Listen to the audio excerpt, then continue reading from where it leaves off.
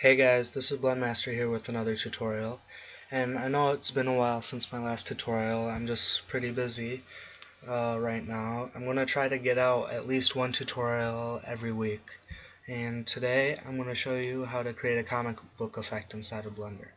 So I just grabbed this picture off the internet because I liked it. You can use whatever picture you want for this effect and uh, we're going to transform it into this. We're going to create these little dots and get a nice outline around the things inside the picture to create this comic book effect.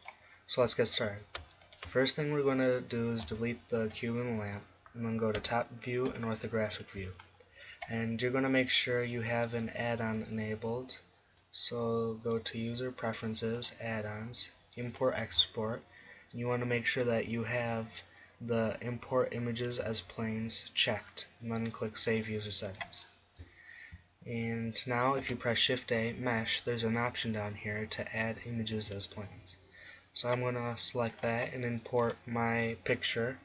And then I'm just gonna scale it up by pressing S and then 5 and I'm just gonna set the material to shadeless and go to texture view now I'll press Ctrl Alt 0 to snap the camera to view and I'll select it and press the G middle mouse button to zoom out. And you can see that our picture isn't the same dimensions as our camera so we're going to have to render this image out in our scene with a different resolution. Otherwise when we go into the compositor to create the effect uh, the scaling is all going to be wrong. So if you scale it up or zoom the camera out to about there, that's good. We'll go to the render settings and play with the resolution until we get something like that. And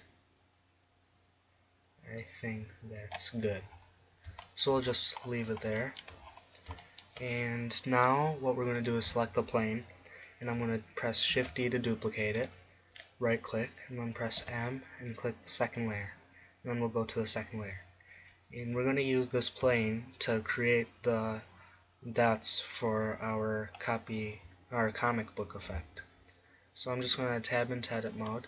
And we want to cut this up into equal squares first. So I'll press Ctrl R to add a loop cut about three like that. Then Ctrl R in the middle. And that looks sort of like even squares. So now we'll subdivide it by pressing W subdivide bring it up to 10 and then subdivide again. And then subdivide one more time but change the cuts to 2 like that. Now we're going to add an icosphere shift A mesh icosphere. We'll move this out of the way. Whoops. Never mind delete it. Shift A mesh icosphere. You want to set the subdivisions down to 1 first and then move it out now press Ctrl 2, which is the shortcut for adding a level 2 subdivision surface modifier. I'll set the shading to smooth. And then we're going to hide the modifier from the viewport so that when we add the particles here, it doesn't slow down. And the material we want to give this is a pure white color. And we're going to change it, or make sure shadeless is selected. Then we'll select our plane, go to the particle settings, add a new one, set the end frame to 1, check emit from verts, uncheck random, scroll down, uncheck emitter, click on object, and select the icosphere that we added. We're going to bring the size down to 0.1. And you can see that there's not enough dots right now. We want to have like a grid of dots and to do that we want to emit a uh, icosphere at every single vertex. So if you look up here or tab in edit mode first and look up here you can see how many vertices there are. There's 3,545 so we'll just type that into the number here 3,500 and then press enter and tab out edit mode and if we go into a wireframe view you can see that our it looks like a grid but I can see right here that there's a particle missing and one's missing here So I think if we just increase it by 2 it'll fill those spots. So that's looking good. I'm going to change the background color to black really quickly. And then we're going to go to the third layer and add a plane. Now tab into edit mode, press W, merge at center. We're going to move this to the top left corner, press E and move it to the bottom right corner, select everything and press E, whoops, E, and drag it out of the camera's view like that. And then I'm just going to move this back a little bit while in objects mode. We're going to give this a red color and make sure the material is shadeless. And then we'll duplicate this plane, scale it up like that, and move it. And then go to front view and move it below the red plane, like that. And we're going to press this 2 button here to create a new material. We want to make this plane a dark green like that. And I'm just going to select all three layers right now. And we're going to create a different render layer for each of these the first one we'll call image and make sure only the first layer is selected second one will be dots and we'll make sure the second one's selected and last one will be gradient. And you'll see why we need this later. Okay, and now I'm just going to render out the entire scene while everything is selected. And okay, now we'll jump over to the compositor, click use nodes, backdrop, control up arrow. To make it full screen. Now I'm just going to drag these out, press control shift and left click to add a viewer node. And I'll duplicate these render layer nodes two more times.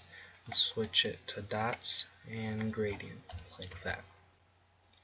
Now what we want to do is create an outline for the image around all of these people. And it's the same method I used in my stylize effect video. And if you want you can check that out but I'll show you how to do it right here. It's pretty simple. We're going to press Shift A, Filter, Filter, and switch it to Sobel, and then Shift A, Converter, RGB to black and white,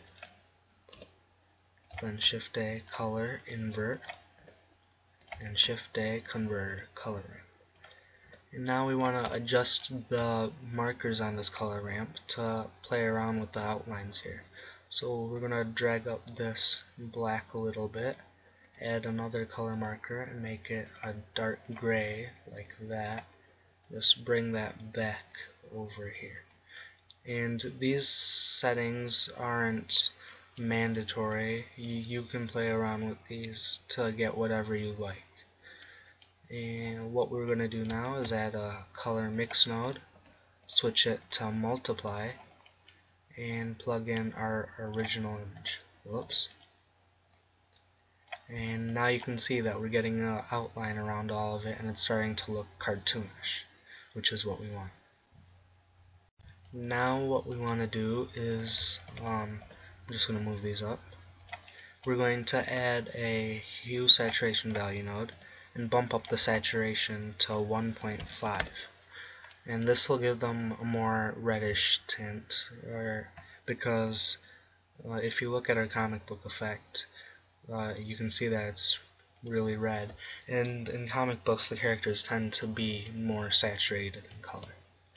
And to get our dots to appear on our image here we're going to duplicate the multiply node like that plug in the dots to the bottom but we want to make sure the saturation is plugged into the multiply node and we'll duplicate this hue saturation value node again and set the saturation to 2 this time. Then we'll duplicate the multiply node one more time and plug in the original, the first hue saturation value node and we'll switch it from multiply to add.